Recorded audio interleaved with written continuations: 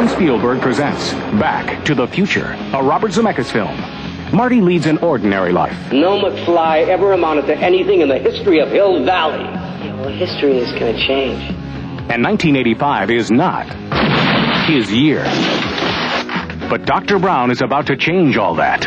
Are you telling me that you built a time machine out of a DeLorean?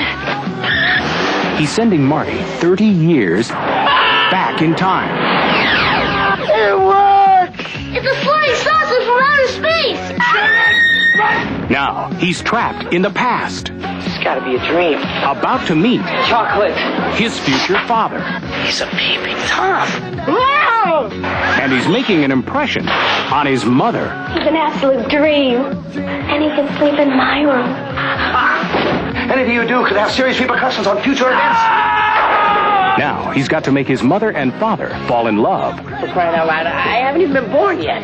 And only Dr. Brown can help him get back to the future. Are you telling me that this sucker is nuclear? Precisely.